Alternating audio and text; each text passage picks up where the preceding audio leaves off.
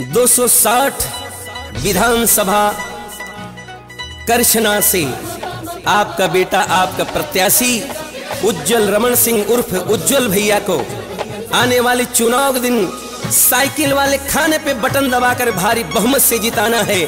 काम किया है, काम करेंगे, झूठा वादा नहीं करेंगे।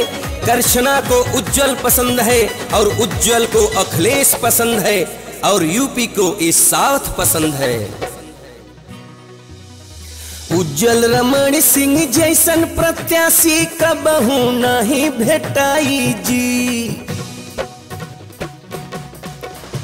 उज्जवल रमण सिंह जैसन प्रत्याशी कबहू नहीं भेटाई जी। उज्जवल रमण सिंह जैसन प्रत्याशी कबहू नहीं भेटाई जी। साइकिल के चिन्ह पे बटन दबा के विजयीन इनके बनाई जी। साइकिल के चिन्ह पे बटन दबा के विजयीन इनके बनाई जी। उज्जवल रमण सिंह जैसन प्रत्याशी कबहू नहीं भेटाई जी। उज्जवल रमन सिंह जैसन प्रत्याशी कबहू नहीं भेटाई जी।